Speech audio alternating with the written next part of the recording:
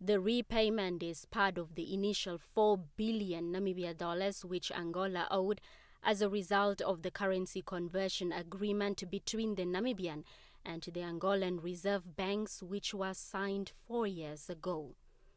The agreement allowed for the exchange of Angolan kwanza for Namibia dollars for the goods and services rendered at the border towns of Oshikango and Santa Clara. But Bank of Namibia yes, started receiving large amounts of kwanza, putting the pressure on the country's reserves. This prompted the two central banks to temporarily put the currency agreement on hold. Um, President Hage Geingob announced that the agreement will be up for review after June. I thank you, Comrade Lourenço, for this gesture.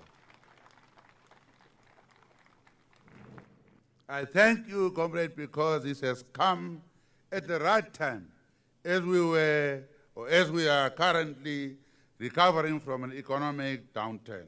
In mid 2017, the Angolan government paid 663 million Namibia dollars to the Bank of Namibia and another payment with the same amount in March this year. Blanche Corres, NBC News.